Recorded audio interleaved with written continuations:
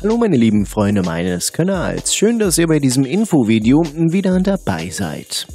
Heute geht es um das Thema Krankenkassen kämpfen gegen Betrug. Mit falschen Abrechnungen sollen zwei Frauen aus der Region Stuttgart mindestens 120.000 Euro erbeutet haben.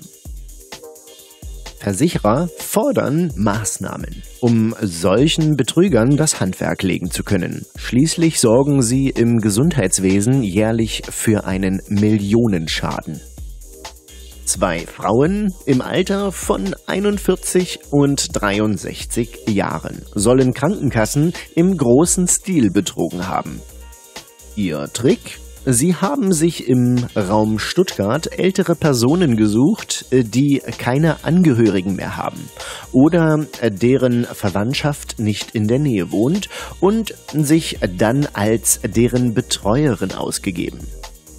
Mit Vollmachten haben sie deren Pflegebedürftigkeit vorgetäuscht und die Auszahlung von Geldern beantragt. Bei mindestens einer Krankenkasse hatten sie Erfolg. Bislang beläuft sich der Schaden auf ca. 120.000 Euro. Ermittelt wird bis heute noch. Abrechnungsbetrug kostet viel Geld. Welche Krankenkassen betroffen sind, gibt die Polizei nicht preis. Grundsätzlich sind solche Maschen aber bei allen großen Versicherungsgesellschaften ein Thema. Korruption und Abrechnungsbetrug im Gesundheitswesen und im Pflegebereich würde die ähm, Patientensicherheit gefährden, sagte ein Sprecher der AOK Baden-Württemberg. Sie entziehen dem Gesundheitswesen wichtige finanzielle Mittel, die dann nicht mehr für die Versorgung zur Verfügung stehen kann.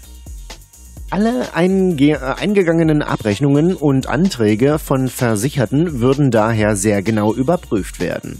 Auch die Technikerkrankenkasse nimmt Vollmachten und Personalien besonders gründlich unter die Lupe. Besonders äh, wenn kein Verwandtschaftsverhältnis vorliegt, bestätigt ein Sprecher des Unternehmens. Die Masche ist hier auch nicht neu. Eine seriöse Einschätzung zur Aufdeckungsquote und zur allgemeinen äh, Schadenshöhe könne man aber auch hier nicht machen.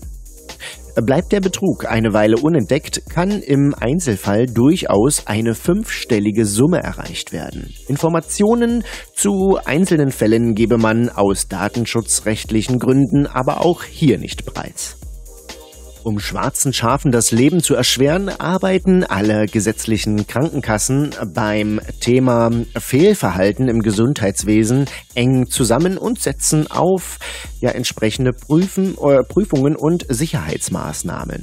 Darüber hinaus sind sie gesetzlich dazu sogar verpflichtet, eine eigene Kontaktstelle zur Bekämpfung von Betrug im medizinischen Bereich zu betreiben. Betroffene Versicherte, aber auch Dritte können über das Internet oder auch telefonisch Verdachtsmomente melden. Natürlich auch anonym. Jeweils beim ja entsprechenden Unternehmen, wie zum Beispiel bei der AOK oder auch bei der Techniker Krankenkasse, findet man die Links dazu direkt auf der Webseite, um solche Fälle gleich melden zu können. Je nachdem, mit welcher kriminellen Energie vorangegangen wird und welche Personen beteiligt sind, sind Abrechnungsmanipulationen leider nicht zu 100% auszuschließen, sagte eine Sprecherin der Krankenkasse Barmer. AOK stellt 153 Mal Strafanzeige. Bei der AOK Baden-Württemberg, landesweit die größte Krankenkasse, sind im Berichtszeitraum 2020 bis 2021 exakt 653 Hinweise eingegangen. Zwei Drittel von extern, der Rest von intern. Wenn ein Anfangsverdacht auf eine strafbare Handlung besteht, unterrichten wir die Staatsanwaltschaften, so der Sprecher der Krankenkasse. 153 Mal ist bereits Strafanzeige gestellt worden. Es kommt vor, dass sich mehrere Hinweise auf denselben Fall beziehen. Bei den von der Staatsanwaltschaft verfolgten Fällen entsteht der AOK Baden-Württemberg ein Gesamtschaden in Höhe von fast 21 Millionen Euro. so der Sprecher der Krankenkasse. Beachtlich ist, dass Privatpersonen nur in 40 Prozent der Fällen beschuldigt werden. Ansonsten stehen Leistungsbringer in Verdacht, Betrug begangen zu haben. Hier seien laut des AOK-Sprechers quasi alle Bereiche betroffen, von Apotheken über die häusliche Krankenpflege bis hin zu Krankenhäusern oder sogar private Ärzte. Ein Krankentransportunternehmen habe beispielsweise gegenüber Krankenkassen ein Übermaß an Desinfektionspauschalen in Rechnung gestellt, ohne die entsprechenden Hygienemaßnahmen durchgeführt zu haben. Sprich, das Fahrzeug wurde nach der Beförderung von hochinfektiösen Patienten nicht ausreichend oder gar nicht gereinigt. Die AOK Baden-Württemberg konnte einen Großteil ihrer ursprünglichen Forderungen in Höhe von rund 1,7 Millionen Euro geltend machen und für die Versicherungsgemeinschaft zurückgewinnen. Auch bei der Barmer würden jedes Jahr Schäden in Millionenhöhe aufgedeckt werden. So die Sprecherin, die feststellt, dass die überwältigende Mehrheit der Leistungsbringer ja konkret abgerechnet werden. Da sehr wahrscheinlich nicht alle Fälle entdeckt werden, müssen wir zudem von einer nicht näher zu bestimmenden Dunkelziffer ausgehen. Ein Problem aus Sicht der AOK. Straftaten im Gesundheitswesen bereiten den Staatsanwaltschaften besondere Schwierigkeiten, da das zu beachtende äh, Sozialversicherungsrecht sehr komplex ist und nicht nur gesetzliche, sondern auch vertragliche Vorgaben zu Leistungs- und Abrechnungsbeziehungen zu äh, beachten sind. Dementsprechend werde schon seit mehreren Jahren von der Landespolitik gefordert, äh, Schwerpunktstaatsanwaltschaften für Fälle im Gesundheitswesen einzurichten, wie ähm, sie in mehreren Bundesländern bereits bestehen würde.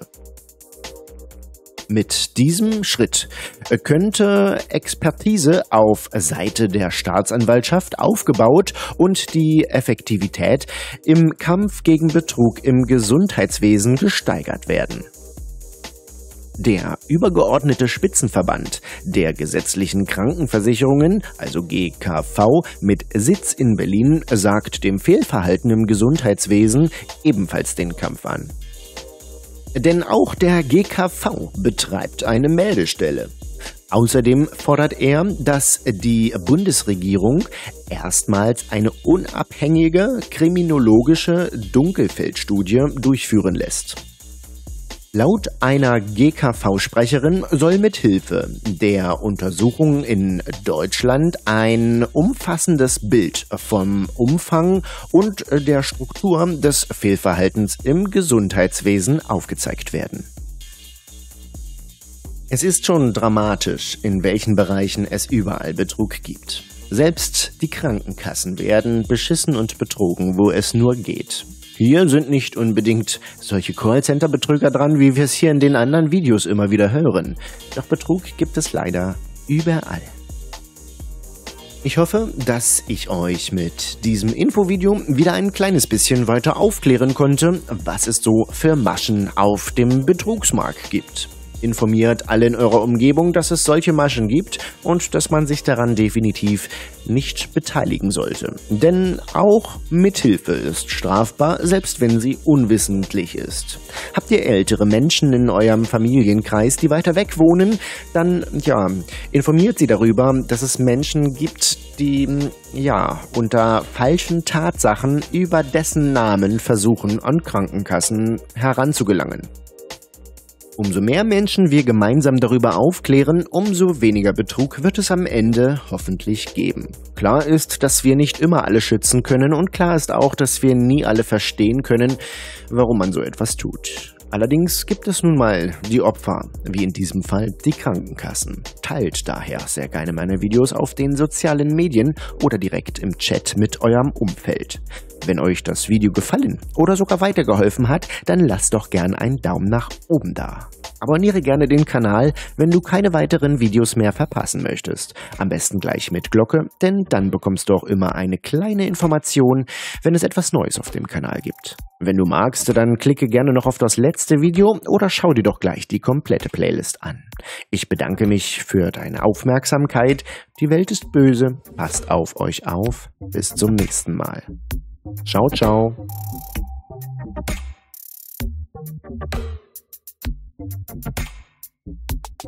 you.